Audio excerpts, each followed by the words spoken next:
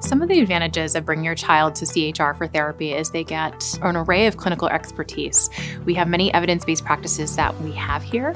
We're also a very family friendly focused environment where we're always working with the caregivers and inviting them into the space to be able to support their child. Therapy is a great outlet for a child to be able to express themselves, whether it's through art therapy or communicating from a third party that is non biased, gives them a voice. Makes the child feel better about themselves. It can make them understand different ways to cope. Here at CHR, we really feel that that partnership with a caregiver is so vital to the child sustaining what they're learning in therapy long after. So we have a lot of caregiver and parent only sessions. We'll do family therapy, and that is because we want the skills that we're providing that 45 minutes to be taken outside and implemented every day after that. Caregivers are with their child more than we are.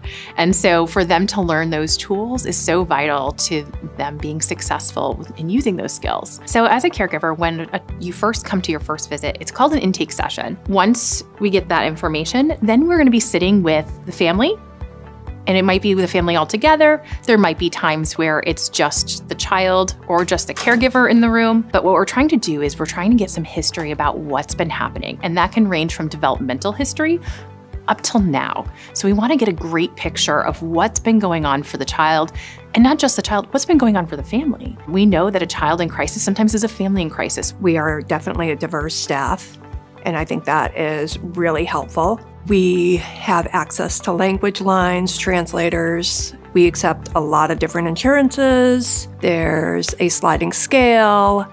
So there really is no barriers that would prevent treatment from happening, which I think is really good. Another thing is that all our clinicians have great supervision with different mindsets and different ideas to put in team meetings, peer supervision. I think our clients get good treatment, but also get an experience really we want to build a toolbox for children to be more successful. Also have a safe place to explore any concerns or emotional pieces that they're going through at that time. We do have various treatment options. We do have telehealth options. As well in outpatient, we also have clinicians embedded in many of the schools within our communities and support a school-based team that supports them.